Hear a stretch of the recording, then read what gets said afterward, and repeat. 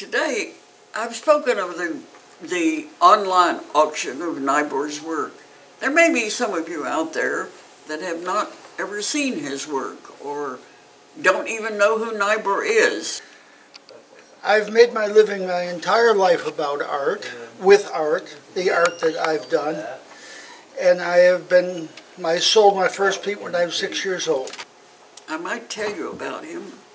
James Odbert is his name. At 85, he has made his living as an artist all his life. He grew up, went to the, the college at the Minneapolis School of Art and Design, joined the Navy, they even had him doing pictures there, and came back to a career as a commercial artist. He had a studio in Minneapolis for a good while and worked for other studios, came to New York City in the late 70s, early 80s maybe, um, and was doing a lot of science fiction work uh, by that time, interiors, all black and white, because he's colorblind.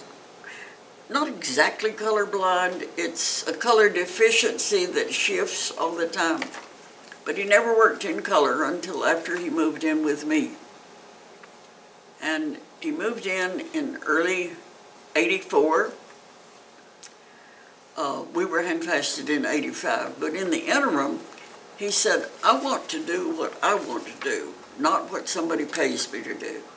And I said, okay, I'm making enough with my arts and crafts that I can support the two of us for a while. And he said, but I want to find out if people are buying the art for the name or for the art. So I'm going to change the name. He took his middle name, Robin, turned it backwards and put a Y in place of the I and came up with Nybor. And that has been his nom de crayon uh, ever since. He is well known for his fantasy work, for his mystical work. In fact, his art is called Nybor Mystical Art. He has he's produced portraiture for people on many, many different countries, people overseas as well as in this country.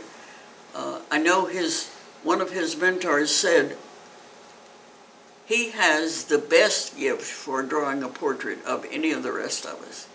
And they're pretty spectacular.